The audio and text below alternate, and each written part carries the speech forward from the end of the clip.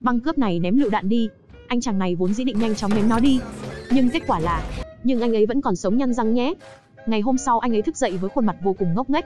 Và những chuyện tương tự như vậy ngày nào cũng xảy ra với anh ấy mỗi ngày. Ngày nào anh ấy cũng bị xe tông không thì bị cướp chặn đường. Vậy nên mỗi buổi sáng thức dậy anh ấy đã quen thuộc với điều này. Anh ấy thậm chí còn bắt chéo chân và thảo luận với các đồng nghiệp của mình nên ăn ở đâu. Vậy rốt cuộc anh ấy là cái quái gì vậy nhỉ? Sự xuất hiện của Đức Chúa Trời hay là vì sao chuyển thế? Không đâu tất cả đều không phải. Nhưng anh ấy không chỉ có một mình, mà anh ấy là nhân vật trò chơi siêu siêu nhỏ trong thế giới trò chơi này. Đây chính là những thứ cung cấp tương tác cho người chơi trong trò chơi. Cho đến một ngày nọ, anh ấy gặp một cô gái đeo kính xinh đẹp với phụ kiện đai quần siêu ngầu. Lúc này anh chàng Will liền vô cùng cảm động trước vẻ đẹp của cô gái. Người bạn hỏi anh đang nhìn cái gì vậy? Đó là một nhân vật đeo kính đó anh bạn. Cả anh và tôi đều không phải đối thủ của cô ta anh hiểu chứ? Nhưng anh chàng Will này không chịu nghe. Anh liền chạy về phía trước và tiến tới chỗ cô gái. Kết quả là, thế là Huy lại thức dậy một lần nữa. Nhưng lần này có vẻ không giống những lần khác. Bởi vì so với trước đây thì anh ấy mở rèm cửa nhiều hơn hai lần. Lúc tan làm thì bọn cướp kia vẫn hoạt động như bình thường. Tất cả mọi người đều ngoan ngoãn nằm trên mặt đất. Anh chàng Huy tự hỏi bản thân mình, tại sao buổi sáng mình lại mở rèm cửa hai lần vậy nhỉ? Khi anh ấy ngẩng đầu lên thì anh thấy cô gái đeo kính ngày hôm qua. Người đồng nghiệp liền khuyên nhủ anh ấy là hai người họ không lên cơm cháo gì đâu. Anh bạn tại sao anh lại không nghe lời tôi hả? Người ta là xếp sòng đeo kính đó anh có nhìn ra không vậy hả?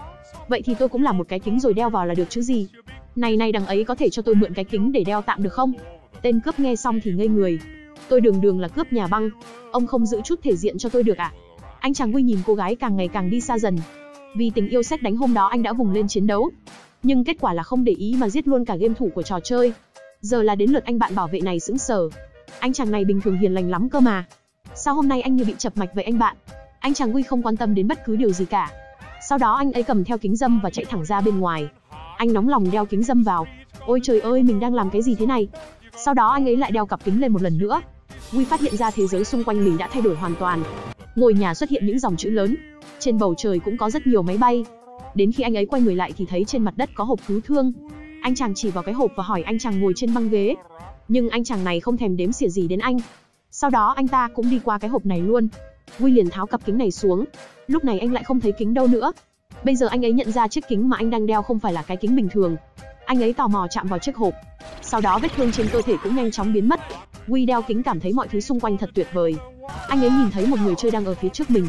Sau đó trên trời còn có vài tờ tiền đang bay lơ lửng. Anh ấy vươn tay ra vẫy vẫy vài cái. Lúc này anh phát hiện ra số tiền tiết kiệm của mình đã nâng từ hai chữ số lên bốn chữ số. Quy vô cùng choáng váng trước cảnh tượng này.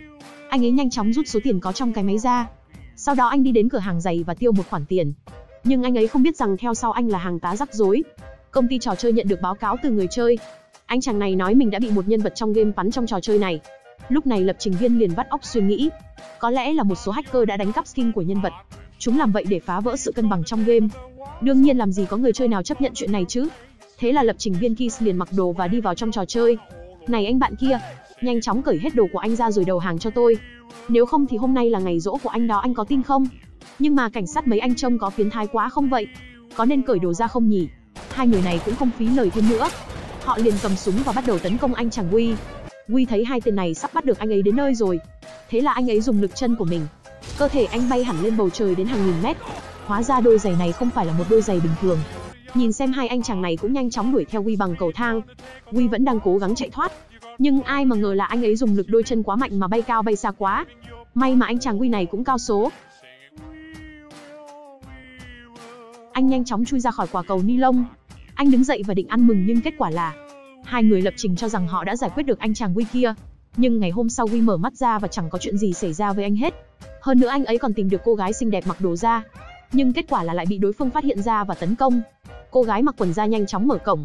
Cô ấy đưa Quy đến kho đồ của cô ấy. Cô gái xinh đẹp đeo kính này tên là Millie. Cô ấy đang thực hiện một nhiệm vụ trong trò chơi này. Chính anh chàng Huy là người khiến cô bị bại lộ. Huy vì muốn giành được cảm tình của Millie, mà anh ấy liền nói với cô rằng mình sẽ giúp cô ấy. Millie liền xem level của anh ấy và kiểm tra.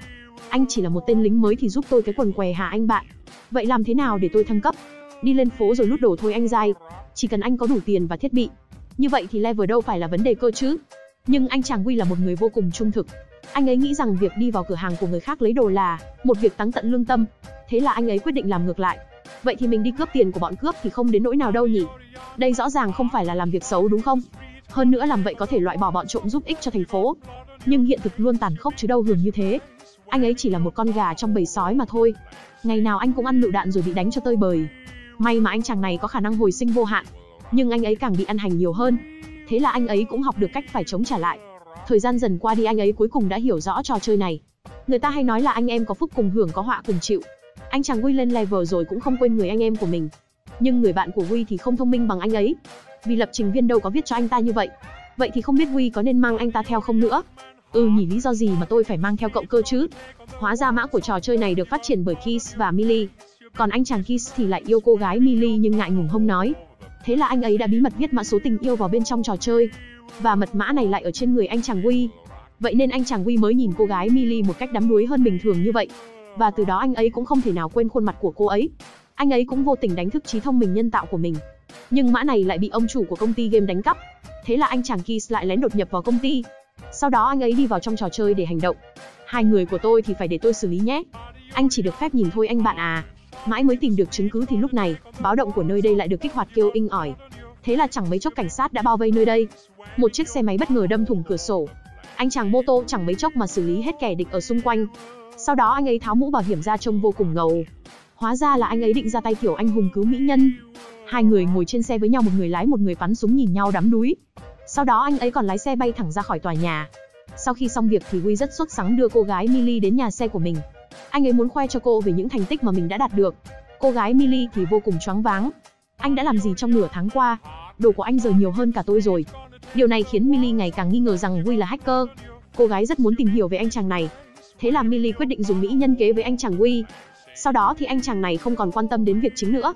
Ngày nào anh ấy cũng đi hẹn hò rồi ăn kem với cô gái xinh đẹp này. Thậm chí tình cảm của họ cũng ngày càng sâu đậm. Giống như là chứng cứ cứ thế tự động dâng lên tận miệng vậy. Anh chàng Kiss này đúng là quá đáng thương. Anh cứ nghĩ là giết được Huy rồi nhưng không ngờ lại tạo ra kẻ địch cho mình. Nhưng hôm nay sau khi lục tung mọi thông tin của người chơi, anh ấy mới phát hiện ra là chả có người chơi nào tên là Huy cả. Điều này khiến anh ta chắc chắn rằng Huy là một nhân vật trong trò chơi. Thế là anh ấy nhanh chóng thông báo tin tức cho cô gái. Anh nói với cô rằng mã mà anh ấy viết đã đánh thức trí thông minh nhân tạo. Thế là anh ấy định đích thân ra mặt để xử lý Huy. Kiss xuất hiện và nói với cô gái rằng Huy chỉ là nhân vật ảo mà thôi. Ôi chao nụ hôn đầu của tôi lại là một nụ hôn ảo sao? Nhưng cô gái còn chưa kịp hết choáng váng. Thì anh chàng Kiss có ngay một tin xấu cho cô ấy. Hiện giờ tên xấu xa đang chiếm thành phố. Nâng cấp phiên bản lên 2.0. Nhưng bản 2.0 vừa mới được lên kệ. Thì bản 1. sẽ bị đóng lại ngay. Thành phố nơi anh chàng quy sinh sống cũng cứ như vậy mà tiêu biến. Bằng chứng việc tên tóc bạc đã đánh cắp mã của họ sẽ không bao giờ được tìm thấy. Vì vậy, họ chỉ có thể tìm bằng chứng trước khi tắt máy chủ.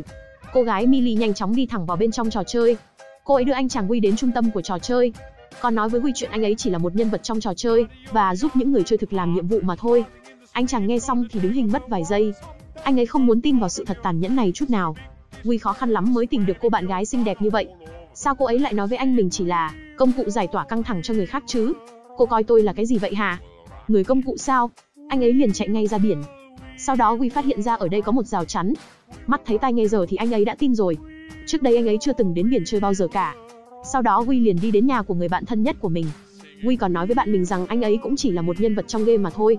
Điều này chắc hắn sẽ khiến bạn của Huy thấy đau lòng. Nhưng bạn của Huy chưa đánh thức được trí tuệ nhân tạo. Sao anh ấy có thể cảm nhận được niềm vui đấy cơ chứ? Người ta không tin những chuyện nhảm nhí đó đâu.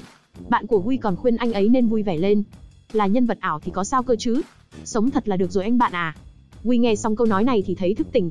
Vì không muốn bản thân hối hận, anh ấy quyết định trước khi biến mất anh sẽ giúp cô gái có được thứ cô ấy muốn. Đúng là vừa hay luôn này. Đội trưởng an ninh ở đây hóa ra là fan não tàn của Huy. Anh ta chẳng nói chẳng rằng liền đưa ngay đoạn băng tài liệu cho anh chàng Huy. Điều này khiến Huy vô cùng choáng váng. Hóa ra nổi tiếng lại có lợi thế này cơ đấy. Nhưng lợi ích đúng là ngoài mong đợi. Vì sự nổi tiếng của anh ấy ngày càng ít người mua các trò chơi được nâng cấp. Anh chàng tóc trắng có thể làm gì cơ chứ? Lấy hết tài sản của một người thì sẽ không cho anh ta đường lui. Thế là anh ấy quyết định lại khởi động lại tất cả thành phố. Thao tác này sẽ khôi phục nhân vật Huy về cài đặt gốc. Còn cô gái Millie cũng mới tìm ra được vị trí mã bị ẩn giấu. Nhưng đột nhiên mọi thứ liền bất động. Anh chàng Huy cũng đi ngay ra đường. Anh phát hiện ra tất cả mọi thứ đều đang bất động. Sau đó các tòa nhà và mọi thứ bắt đầu biến mất. Sau khi trò chơi khởi động lại, anh chàng Huy đúng là lại trở lại là tên ngốc như ban đầu. Cô gái Millie liền đi đến để gặp anh. Nhưng anh ấy lại chẳng có trí nhớ gì về cô cả. Cô gái Millie không biết nên làm gì. Kiss liền nói với cô ấy trí tuệ nhân tạo của Huy vẫn chưa biến mất. Chỉ cần một cơ hội để đánh thức anh ấy. Khi cô gái biết được chuyện này thì liền sử dụng chiêu cuối cùng của mình. Cô gái liền kéo anh chàng Huy vào một con hẻm. Lúc này cô liền thực hiện hành động táo bạo với Huy. Trong phút chốc đầu của anh chàng Huy xuất hiện nhiều tia sáng. Tất cả các kỷ niệm trước kia của anh ấy đều được khôi phục. Để chống lại tên tóc bạc xấu xa, huy bắt đầu kêu gọi tất cả nhân vật trong game tụ tập lại để đình công. Điều này khiến những người chơi vô cùng bối rối. Sao không có nhân vật trò chơi nào vậy nhỉ? Tên tóc xám tức giận đến run người. Ông ta dự định sử dụng trình cắm của quản trị viên để giết huy. Những nơi mà anh chàng huy đi qua, tất cả các phương tiện xây dựng và đồ đạc đổ vào xe của anh ấy. May mà anh chàng Keys cũng nhanh chóng ra tay. Thế là bọn họ cũng không gặp gì nguy hiểm. Cả hai cùng lái xe bay thẳng lên trời. Keys cũng sử dụng các tòa nhà để xây dựng một cây cầu giữa biển. Vì mã mà Keys và cô gái viết đều được cất giấu ở đó. Tên tóc trắng không biết bằng chứng về việc ăn cắp của mình đã được tìm thấy hay chưa. Thế là ông ta liền ngắt kết nối tất cả những người chơi trong trò chơi này. Sau đó ông ta đã gửi một anh chàng to lớn trông không được thông minh cho lắm, đến đây. Bắp chân to lớn của anh ta đá một cái. Anh chàng quy liền bay cao lên trời những 300 mét. Sau đó anh ta lại tấn công bằng những cú đấm khác. quy chống trả nhưng tất cả đều vô dụng. Lúc anh chàng to lớn đang tiến tới thì quy cũng nhanh chóng nhặt kính lên. Sau đó anh nhanh chóng đeo kính vào, kết hợp cùng với cái khiên. Tên kia liền gậy ông đập lưng ông. Đội trưởng Mỹ xem xong cũng chỉ biết chửi thề. Anh chàng quy không chỉ có khiên sắt, anh ấy còn sở hữu nắm đấm của Hắc. Cú đấm của anh ấy đã hạ gục tên này bay xa 300 mét. Người đàn ông tóc trắng thấy vậy nhanh chóng đưa ra chiêu cuối cùng, phá vỡ máy chủ. Vậy là với một cái máy chủ bị ông ta phá tan tành, các tòa nhà trong thế giới game cũng bắt đầu biến mất. Nhưng nhân vật trong game cũng phải chịu một thảm họa chưa từng có. Anh chàng Wii cũng đang tuyệt vọng chạy trên cầu. Anh chạy đến cây cầu và thực hiện một bước nhảy lớn. Đúng lúc mọi người nghĩ rằng anh chàng Wii đã tiêu đời, thì anh ấy đột nhiên xuất hiện một cách vô cùng thần kỳ. Hòn đảo này lại tràn đầy sức sống. Đúng vậy hòn đảo này được phát triển bởi Keys và cô gái. Thành phố của tự do được phát triển bởi người đàn ông tóc trắng. Bằng chứng về việc ông ta ăn cắp đã được công khai cho mọi người cùng biết. Cuối cùng ông ta cũng bị cảnh sát bắt đi. Sau đó cô gái cũng tiếp quản trò chơi. Những nhân vật ở thành phố cũng chuyển đến đảo sinh sống. Kể cả anh chàng to con nhưng trông không thông minh lắm này cũng đến đó. Cuối cùng thì Kiss và cô gái cũng về bên nhau. Và câu chuyện này cho chúng ta biết một điều. Đó chính là nếu bạn đang có tình cảm với ai đó thì hãy dũng cảm bày tỏ. Cuộc sống ngoài đời thực không giống như thế giới ảo. Nếu bạn bỏ lỡ mất cơ hội thì sẽ không có cơ hội lần thứ hai đâu. Bộ phim đến đây là kết thúc, cảm ơn các bạn đã theo dõi. Nếu thấy hay thì nhớ ấn thích kênh để ủng hộ nhé. Tạm biệt và hẹn gặp lại trong những bộ phim tiếp theo.